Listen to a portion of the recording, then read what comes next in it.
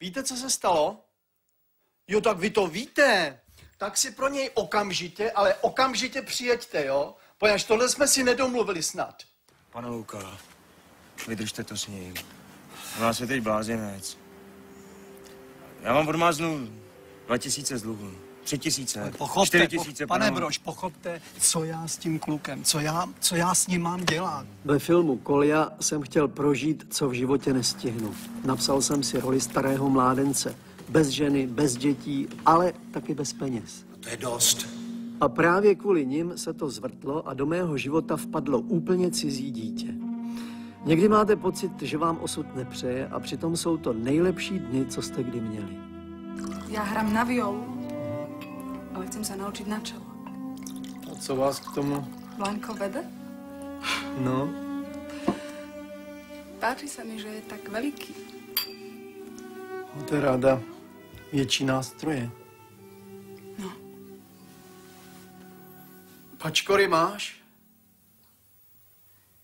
Něco na nohy. Pro doma. Do prdele, to bude domluva s tebou. To mi ještě scházelo. Každý Čech trošku gavarit po-rusky. Kromě mě.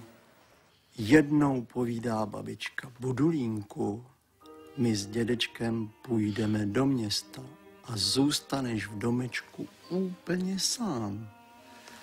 Останься ты дома один. Сам. No, no. A tak šli.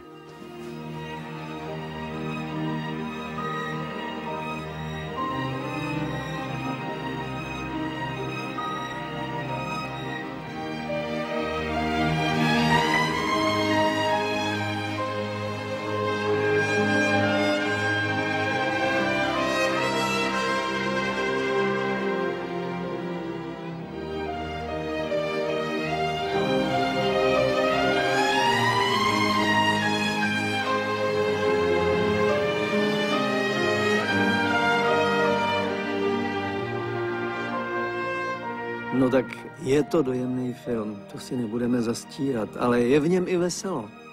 Konečně přijďte se na Koliu podívat.